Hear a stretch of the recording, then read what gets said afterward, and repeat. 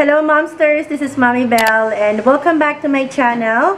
For today's video, um, very special ang araw na ito sa amin kasi um, ang araw na ito ay ito-turn over na yung um, house ni Irish.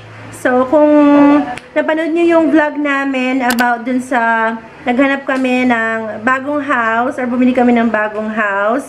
So ito na ngayon, finish na siya ito turn over na kay Irish. So, pupuntahan namin ngayon para kuhanin na yung susi and also samahan nyo kami na itour kayo sa bagong bahay. So, see you!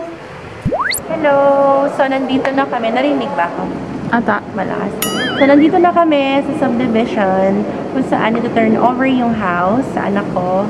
Um, inaantay lang namin siya, umakit na siya sa taas. So, um, samahan niyo akong ikutin yung clubhouse nila ngayon.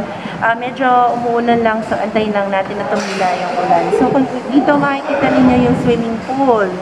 Ayan. Ipakita.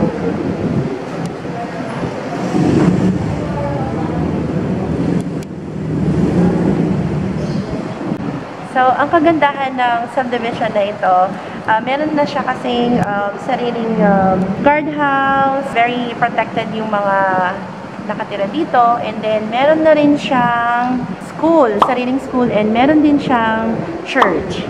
O, diba? So, hindi na nila kailangan na, hindi na kailangan na lumabas, na malayo, o lalabas lang dito sa subdivision, nandiyan na lahat ng mga kailangan nila. Meron din na mini parang palengke or talipapa. So, madali na lang kapag bumili siya, ng, bumili siya ng mga pagkain niya.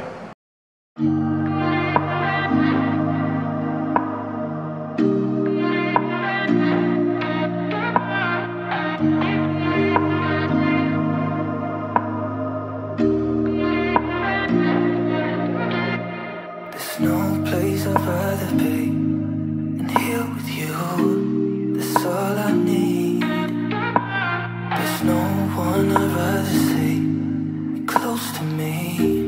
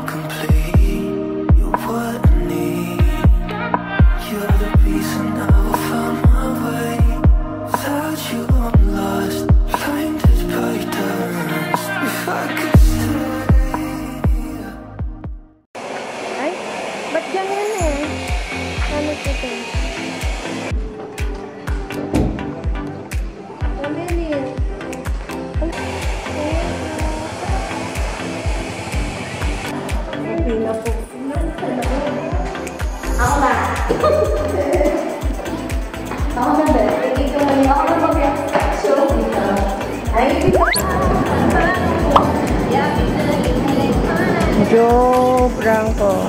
Palit lumiit naman yung chicken. Dati malaki yan eh. Ano yung in-order mo? Solo chicken lang.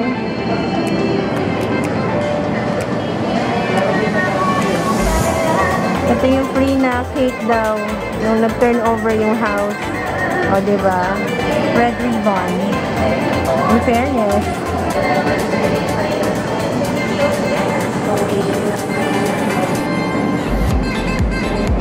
Yun.